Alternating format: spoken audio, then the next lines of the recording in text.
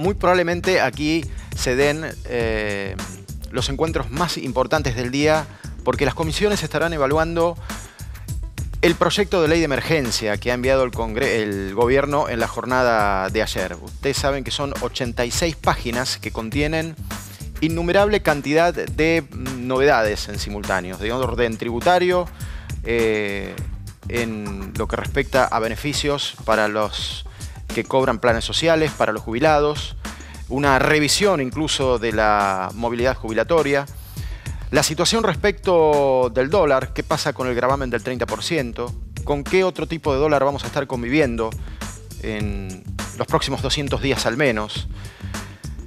Todo eso se va a estar debatiendo en el Congreso de la Nación o por lo menos se va a estar analizando en comisiones. Claro, hay algunas dudas, sobre todo si tenemos en cuenta la posición que fijó el interbloque Cambiemos.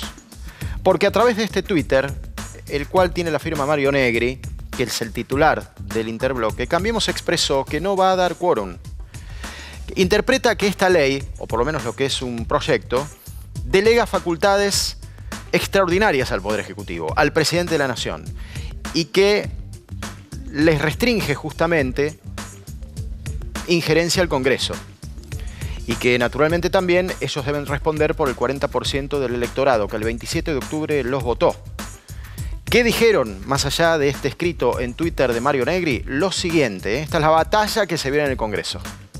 Si la economía no crece, todo el resto no se puede solucionar. Y para que la economía vuelva primero a dejar de caer y después a volver a crecer, tenemos que tomar las medidas urgentes que estamos tomando. No se nos pueden seguir cayendo pymes en Argentina.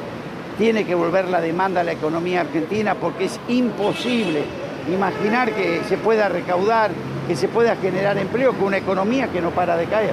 Es un proyecto de ley que tiene entre 8 y 9 declaraciones de emergencia de todo tipo donde pide poderes y delegación de poderes muchísimas que tendría que delegar el Congreso en el Poder Ejecutivo.